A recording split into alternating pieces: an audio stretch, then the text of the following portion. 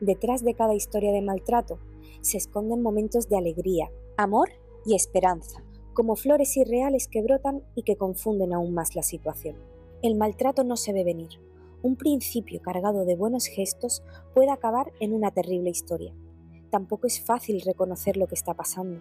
La situación psicológica, el juego manipulador, la relación tóxica, la felicidad puntual de las reconciliaciones, la vulnerabilidad y otros factores complican el ponerle freno. Sabemos que no ayuda el histórico, ni el sistema, ni el tener que tirar sola con la casa, ni el sentimiento de culpa, ni las frases de tampoco será para tanto. No ayuda que no nos hayan creído durante tantas veces. Y por eso, ante tantos peros, inconvenientes, miedos, problemas, cifras y asesinos, te damos la mano. Transitemos el mismo camino para encontrar la salida.